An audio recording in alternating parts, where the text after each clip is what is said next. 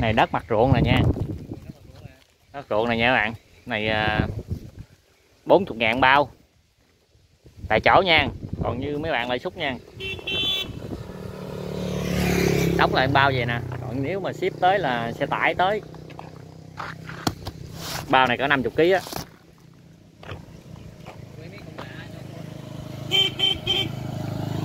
Cục này bự bự bự nè. Phải băm ra, băm nhuyễn nhuyễn ra xúc vô tầng ba này nè, có người lên xe luôn.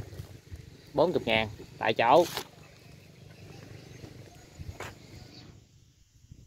Đang gieo đang gieo cho nè. Đây trồng cây tốt lắm số anh em bến tre qua đây mua, đất nó không bị lèn người ta kêu đất đất nó không bị lèn. Ừ, bầm diễn diễn này vậy nè. Này tiếc hết cây bán bất động sản luôn, bán đất luôn. Ai mua liên hệ mình nha.